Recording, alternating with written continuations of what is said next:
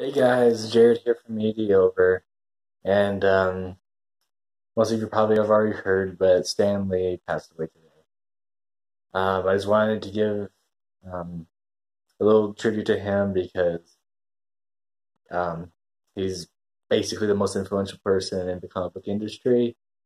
And I just don't know what else to say than that. Uh, thank you, Stan Lee, for all you have done um, in the entertainment industry.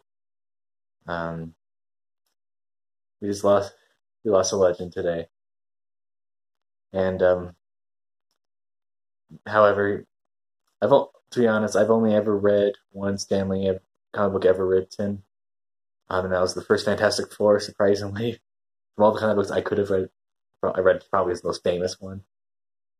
Yeah, it's a good thing. Uh, for the future, I'll probably make a video on it. Um, yeah.